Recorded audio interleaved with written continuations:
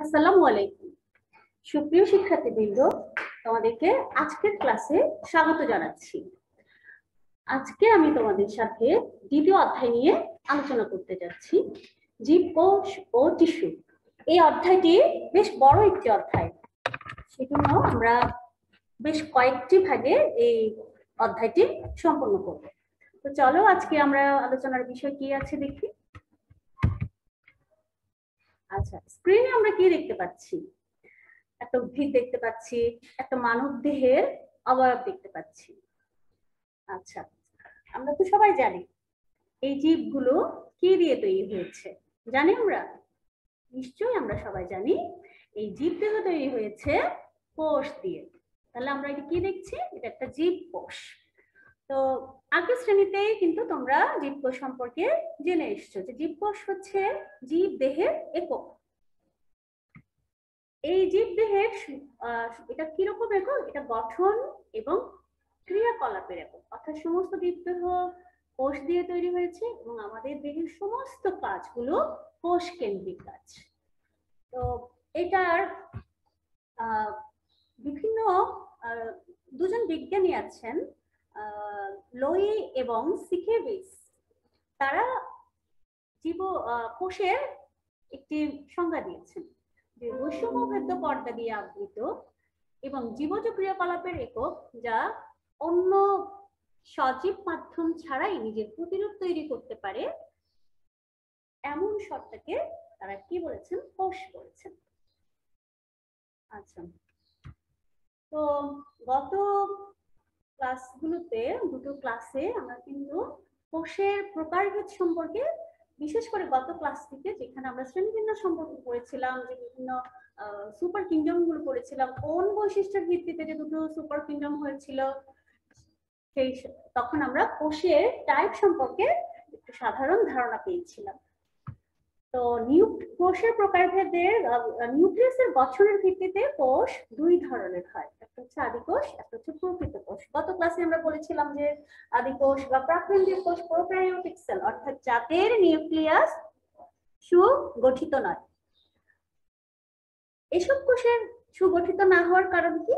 Nuclear, নিউক্লিয়াসের যে একটা পর্দা থাকে, সেই পর্দাটা থাকে না, তাই নিউক্লিয় বস্তু সাইটোপ্লাজমে ছড়ানো অবস্থায় থাকে। এই যে ছবিটা দেখতে পাচ্ছি আমরা, এখানে যে পেঁচানো একটু জাল এর মতো আছে, সুতার মতো অংশ।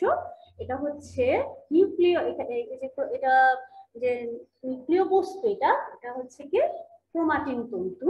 এটা যেহেতু নিউক্লিয়ার পর্দা দ্বারা আবৃত নয়, এটা ছড়ানো অবস্থায় আছে। আচ্ছা কিন্তু যেটা প্রকৃত কোষ, সেটাতে নিউক্লিয়াস সুগঠিত অর্থাৎ নিউক্লিয়ার ছিল্লি দিয়ে নিউক্লিয় বস্তু পরিবেষ্টিত ও সুসংগঠিত। এই যে পাশে এটা একটা দেখতে পাচ্ছ, এটা একটা প্রকৃত কোষ প্রকৃত কোষের এটা একটা নিউক্লিয়াস এই নিউক্লিয়াসের ভিতরেই কিন্তু যা বিভিন্ন যে বস্তুগুলো আছে, সেগুলো আবদ্ধ আছে এবং সুসংগঠিত হিসেবে আছে। তাহলে আমরা দেখলাম নিউক্লিয়াসের গঠনের ভিত্তিতে কোষের প্রকার এখন আমরা দেখি আরও কি কি ভিত্তিতে আছে। কাজের ভিত্তিতে কোষ দুই ধরনের হয়।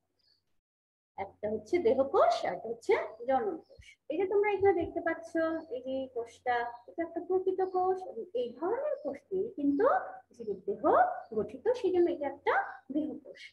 আর জনন কোষ সেইটা হচ্ছে জীবের যখন প্রজনন সম্পন্ন হয়, বিশেষ করে যৌন জননকারী জীবের, তাদের যে একটা নিষেধ সংঘটিত হয়, সেটা হওয়ার জন্য যে যে জনন কোষ লাগে, সেই জনন কোষ নিউসিস কোষ বিভাজনের মধ্য দিয়ে উৎপাদিত হয় এবং এখানে ক্রোমোজোম সংখ্যা থাকে এক প্রস্থ। তাহলে আমরা দেখলাম যে কাজের ভিত্তিতে এবং নিউক্লিয়াসের গঠন অনুযায়ী কোষের প্রকার হয় আচ্ছা এখন আমরা যে কোষটা দেখছি, কোষ করছি সেখানে আমরা তো পৃথিবীতে অনেক ধরনের জীব আছে। তো সেই অনেক জীবের মধ্যে আমরা প্রথমে একটু যদি আমরা দেখি যে অনেক উদ্ভিদ আছে আমাদের, লক্ষ লক্ষ প্রজাতির উদ্ভিদ আবিষ্কৃত হয়েছে, লক্ষ লক্ষ প্রজাতির প্রাণী আবিষ্কৃত হয়েছে। তো এই উদ্ভিদ এবং প্রাণীর কিন্তু মূল যে জায়গাটা, তাদের কিন্তু কোষের মধ্যেও কিন্তু পার্থক্য আছে। তাহলে আমরা আগে একটু উদ্ভিদ কোষটা গঠনটা দেখি। তোমাদের বইয়ের এই চিত্রটা দেওয়া আছে। তো মূলত উচ্চ শ্রেণির উদ্ভিদ এবং প্রাণীরা সকলেই কিন্তু প্রকৃতপোষী এই যে এখানে আমরা যে কোষটা দেখতে পাচ্ছি, এটা একটা প্রকৃত কোষ। এই যে এখানে যেটা দেখতে পাচ্ছি, এটা একটা উদ্ভিদ কোষ, এটা একটা উদ্ভিদ কোষ। এই উদ্ভিদ কোষের যে বিভিন্ন অংশগুলো আছে সেইগুলো যেমন ধরো আচ্ছা এই যে যেমন ধরো এই এই যে মানে অনেকগুলো, এটা আমি উদ্ভিদ কোষ, একটু পরে আমরা অবশ্য দেখব যে উদ্ভিদ কোষ, আমরা দেখার সাথে সাথে আমি কীভাবে বুঝব যে এটা একটা উদ্ভিদ কোষ? যে এখানে মাঝখানে দেখো, একটু হালকা সবুজাক যেটা কোষ গহ্বর আছে, এই কোষ গহ্বরটা কিন্তু উদ্ভিদ কোষের সেন্টারে সেন্টারে থাকে, কেন্দ্রে থাকে এবং বেশ বড় থাকে। কিন্তু প্রাণী কোষে কোষ গহ্বর সাধারণত থাকে না, থাকলেও সেটা খুবই ছোট থাকে। তো এখানে আমরা নানা ধরনের অঙ্গাণু দেখতে পাচ্ছি, এই যে plasma membrane. Plasma membrane plasma membrane, এটাকে আবার কোষ ঝিল্লিও বলা হয়। আবার এই যে এখানে একটা দেখতে পাচ্ছি, কোষ প্রাচীর, এইটা প্লাজমা মেমব্রেনের ঠিক বাইরে, উদ্ভিদ কোষে। এটা কিন্তু শুধুমাত্র উদ্ভিদ কোষে থাকে। এছাড়া আমরা দেখতে পাচ্ছি সাইটোপ্লাজম, যেটার মধ্যে বিভিন্ন অঙ্গাণুগুলো অবস্থান করে। তারপর আছে এটা এনজিওপ্লাজমিক রেটিকুলাম বা জালিকা এটা আছে নিউক্লিয়াস, তার ভিতরে নিউক্লিয়াসের বিভিন্ন বস্তুগুলো আছে। এটা হচ্ছে গলজি বস্তু, এটা হচ্ছে মাইটোকন্ড্রিয়া।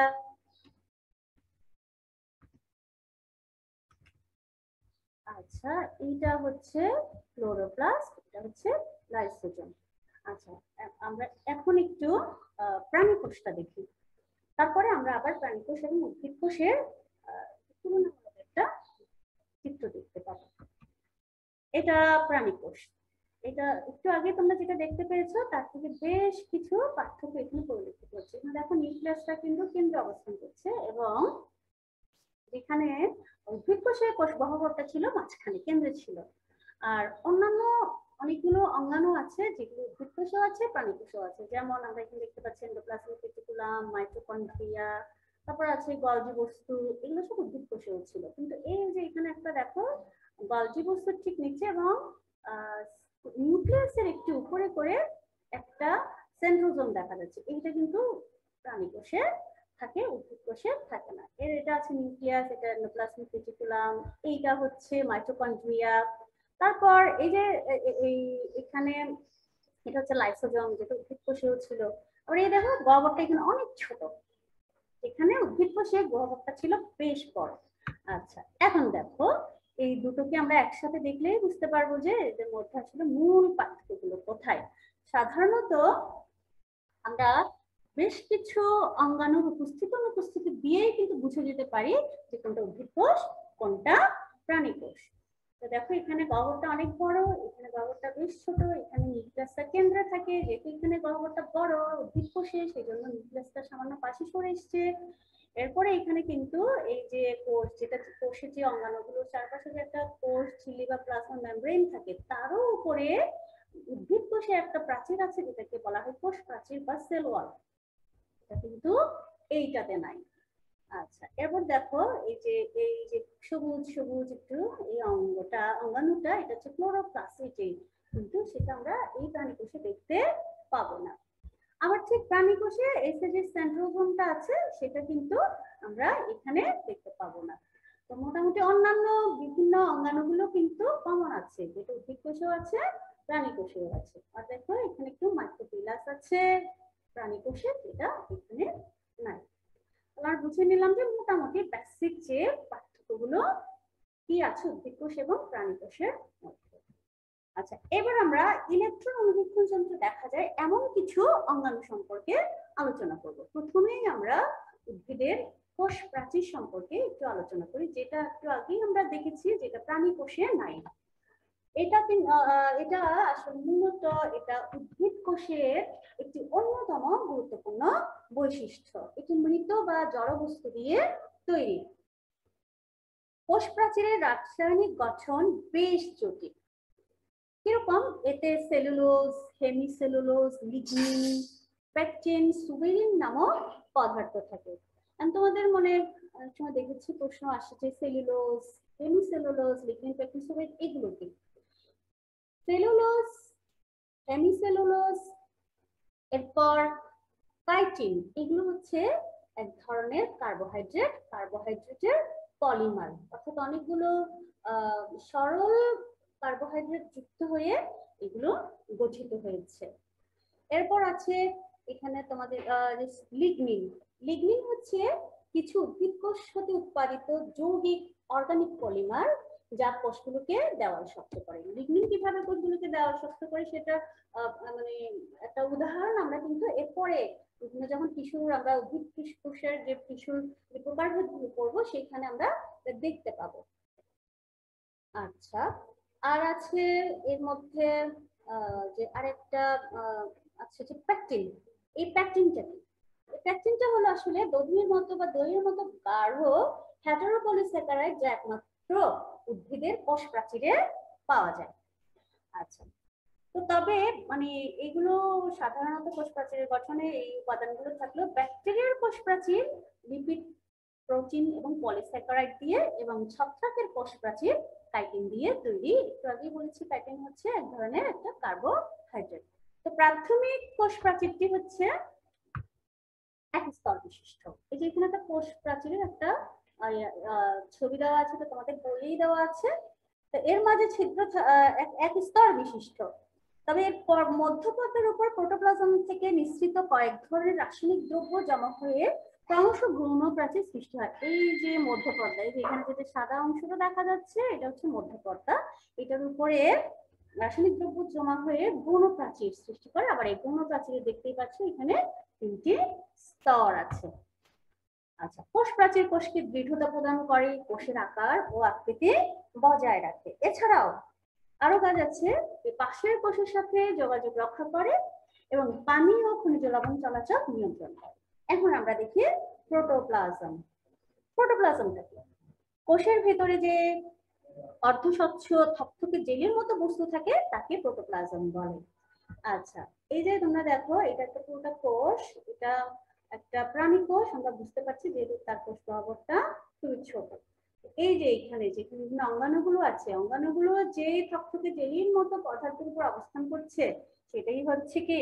প্রোটোপ্লাজম মূলত এই যে কোষ ঝিল্লি দিয়ে ঘেরা, এই যে এটা একটা কোষ ঝিল্লি, চারপাশে যেটা আছে এটা একটা কোষ ঝিল্লি, মূলত কোষ ঝিল্লি দিয়ে ঘেরা সবকিছু প্রোটোপ্লাজম মানে কোষ ঝিল্লির ভিতরে যা কিছু আছে, সবকিছুই প্রোটোপ্লাজম এমনকি এই যে যেটা কোষ ঝিল্লি সেল মেমব্রেন এটাও প্রোটোপ্লাজমের অংশ। কোষ ঝিল্লি ছাড়াও এখানে রয়েছে আর কি আছে? বিভিন্ন ধরনের সাইটোপ্লাজমীয় অঙ্গাণু আছে এবং এই যে আমরা দেখতে পাচ্ছি নিউক্লিয়াস আমরা আচ্ছা এখন আমরা আসি কোষ ঝিল্লি অর্থাৎ একেবারে বাইরের আবরণটা। এর আগে আমরা কোষ উদ্ভিদ কোষের কোষ প্রাচীর সম্পর্কে দেখেছি। তারপর ঠিক কোষ প্রাচীরের নিচে থাকে কোষ ঝিল্লি।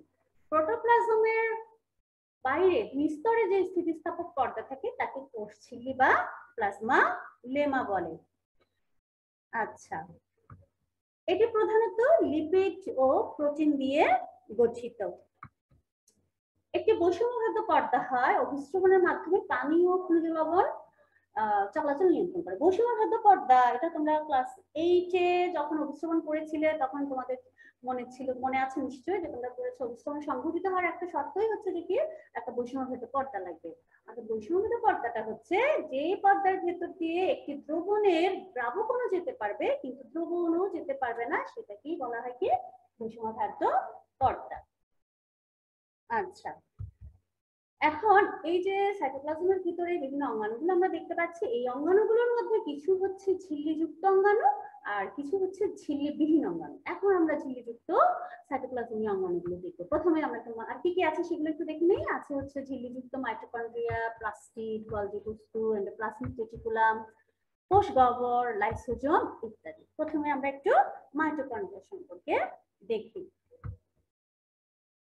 আচ্ছা। মাইটোকন্ড্রিয়া এটা ব্যান্ডা আবিষ্কার করেছিলেন আঠারোশো আটানব্বই সালে। এটি দুই স্তর বিশিষ্ট একটি ঝিল্লি বা আবরণ দিয়ে ঘেরা। ভেতরের স্তরকে ভেতরে দিকে ভাঁজ হয়ে থাকে এই যে এখানে দেখো, এই যে এখানে ভাঁজ হওয়া এই যে অংশগুলো আছে, এই যে ভাঁজ হওয়া, আবার এইটাতে দেখো, এই যে ভিতরে ভাঁজ হয়ে গেছে, এই অংশটা হচ্ছে ভিতরের স্তর। এইটাকে বলা হয় ক্রিস্টিক। আর এখানে যে দেখতে পাচ্ছ এই যে বাইরের দিকে একটু মসৃণ হয়ে আছে এটা কিন্তু বাইরের স্তর দ্বিস্তরী তাহলে ভিতরের স্তরটা ঝিল্লিটা কিন্তু ভাজি হয়ে গিয়ে ভিতরে ঢুকে গেছে। এটাকে বলা হয় কি? ক্রিস্টি। আবার ক্রিস্টির গায়ে এই যে দেখতে পাচ্ছ বলের মতো ছোট্ট ছোট্ট কিছু আমরা আম, বৃন্তযুক্ত গোলাকার বস্তু দেখতে পাচ্ছি। এগুলোকে বলা হয় অক্সিজম। এই অক্সিজমের মধ্যে কিন্তু শ্বসনের জন্য যে প্রয়োজনীয় যে উৎসেচক লাগে, সেই উৎসেচক বা এনজাইমগুলো সাজানো থাকে। আচ্ছা। তো এই যে জীবের যে শ্বাসকার্য, এটাতে সাহায্য করা হচ্ছে মাইটোকন্ড্রিয়ার প্রধান কাজ। আমরা জানি শ্বাসকার্য বা শ্বসন প্রক্রিয়ার মূল এটা হচ্ছে উৎপাদিত বিষয়, যেটা উৎপন্ন হয়, সেটা হচ্ছে শক্তি।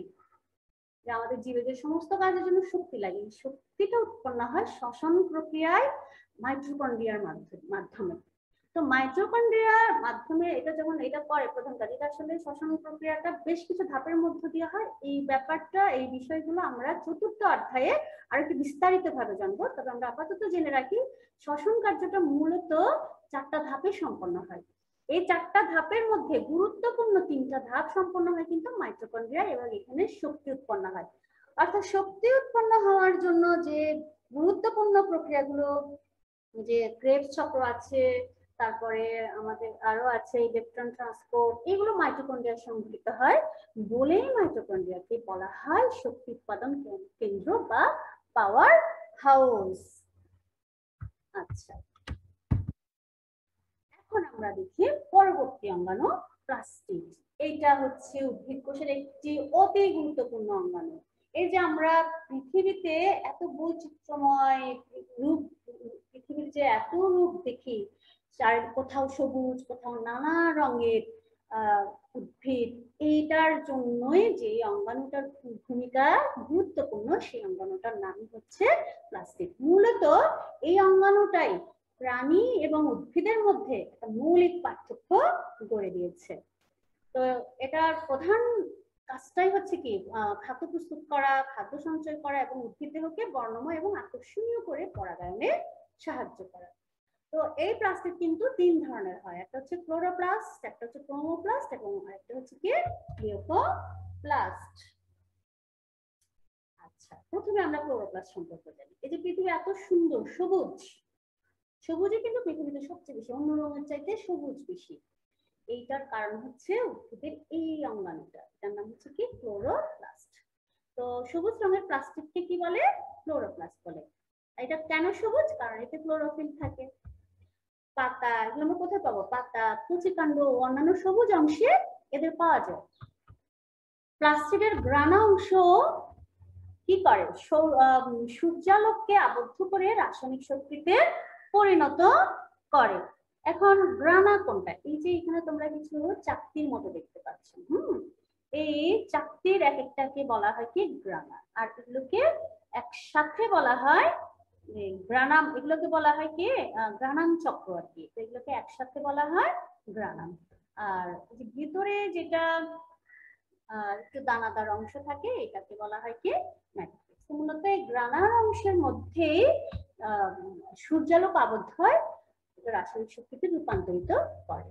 এই আবদ্ধ সৌর শক্তিটাই স্প্রোমা, এই যে এখানে বললাম ম্যাট্রিক বা এটাকে স্প্রোমা বলা হয়, ভিতরে যেখানে অবস্থান করে এই গ্রানাম চক্রগুলো, সেটা সেটাতে অবস্থিত, স্প্রোমাতে অবস্থিত যে উৎসেচক বা এনজাইম আছে সেটা এবং বায়ু থেকে গৃহীত কার্বন ডাই অক্সাইড এবং কোষের ভিতরে যে পানি থাকে, সেগুলো ব্যবহার করে সৌরশক্তি সৌর শর্করা তৈরি করে।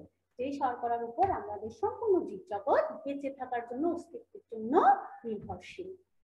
এবার আরেক ধরনের প্লাস্টিক দেখি ক্রোমোপ্লাস্ট এটা হচ্ছে রঙিন প্লাস্টিক তবে সবুজ নয়। মানে অর্থাৎ সবুজ ছাড়া বাকি রঙের যে প্লাস্টিকগুলো আছে, সেগুলো হচ্ছে ক্রোমোপ্লাস্ট যে আমরা নানা রঙের বিভিন্ন কালারের বর্ণময় ফুল দেখি, ফল দেখি কারণ হচ্ছে কি, এখানে প্লাস্টিক আছে।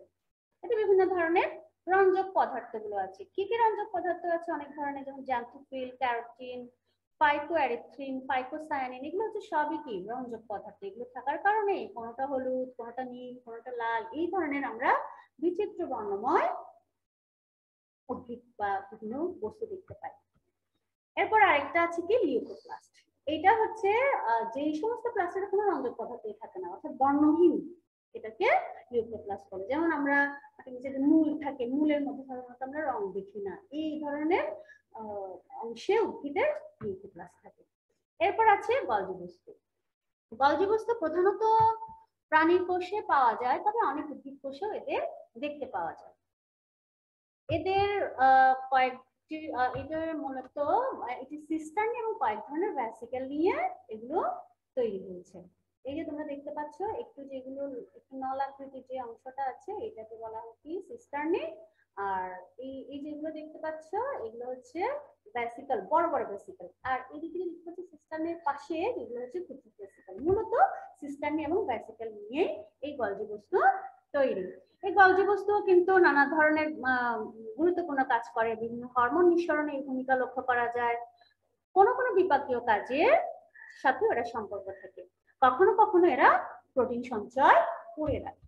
এরপর আছে এন্ডোপ্লাজমিক রেটিকুলাম এই যে তোমরা দেখতে পাচ্ছ, এখানে এই যে এন্ডোপ্লাজমিক রেটিকুলাম ছবি দেওয়া হয়েছে। মোটামুটি নিউক্লিয়াসের আশেপাশে এই যে কিছু বিস্তৃত নলের মতো অংশ দেখতে পাচ্ছ, এগুলো হচ্ছে এন্ডোপ্লাজমিক রেটিকুলাম এন্ডোপ্লাজমিক রেটিকুলামের গায়ে যদি রাইবোজোম, এটা আরও রাইবোজোম আরও একটা কিন্তু গুরুত্বপূর্ণ অঙ্গাণু, যেটা উদ্ভিদের জীবের প্রোটিন সংশ্লেষ করে, সেটা যদি এন্ডোপ্লাজমিক রেটিকুলামের সাথে সংলগ্ন থাকে, তখন সেটাকে বলা হয় অমসৃণ যেহেতু এটা লেগে থাকলে একটু অমসৃণ হবে অমসৃণ এন্ডোপ্লাজমিক রেটিকুলাম অর্থাৎ রাফ আর যদি রাইবোজম লেগে না থাকে, তাহলে সেটা হচ্ছে কি মসৃণ এন্ডোপ্লাজমিক রেটিকুলাম তো এই এন্ডোপ্লাজমিক রেটিকুলাম কোষে উৎসেচক বা অন্য কোষে উৎপাদিত অন্যান্য দ্রব্যাদির মাধ্যমে এগুলো চলাচল করে। এগুলো প্লাজমা এক কোষ থেকে অন্য কোষে উৎসেচক ও কোষ উৎপাদিত অন্যান্য দ্রব্যাদি এর মাধ্যমেই কিন্তু এগুলোর মধ্য দিয়ে চলাচল করে। মাইটোকন্ড্রিয়া কোষ গহ্বর এগুলো সৃষ্টিতে এন্ডোপ্লাজমিক রেটিকুলামের গুরুত্বপূর্ণ ভূমিকা রয়েছে। উদ্ভিদ এবং প্রাণী উভয় কোষে এদের অবস্থান আছে। এবার আমরা দেখি কোষ গহ্বর। এই যে কোষ গহ্বর উদ্ভিদের ক্ষেত্রে তো বেশ বড়ই আমরা দেখেছি ক্ষেত্রে ছোট।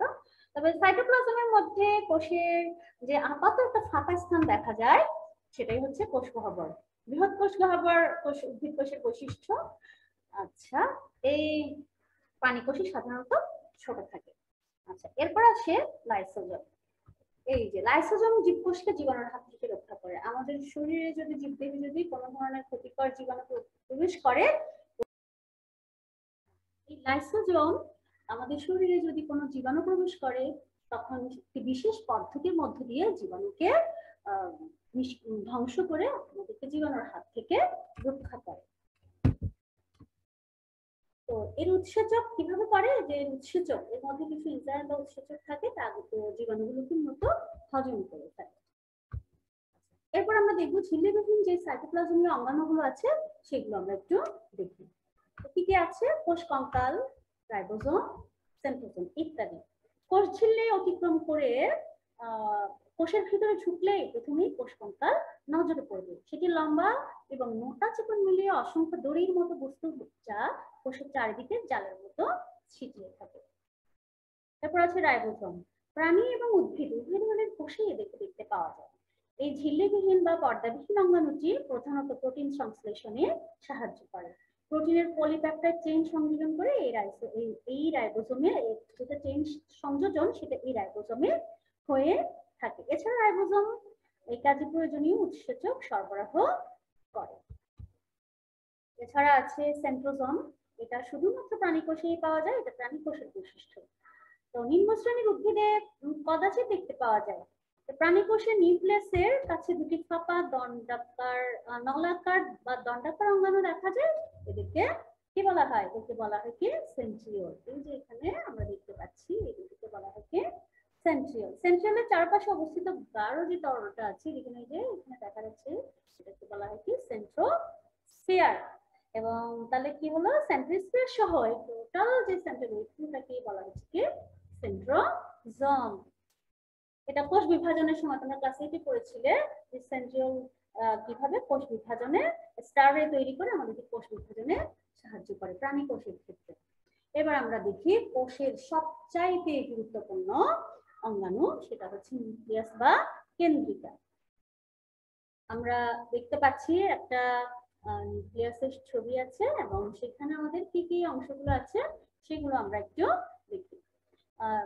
নিউক্লিয়াসকে ঘিরে রাখে যে ঝিল্লিটা, সেটা হচ্ছে যে বাইরে যেটা আছে সেটাকে বলা হয় কি? নিউক্লিয়ার ঝিল্লি।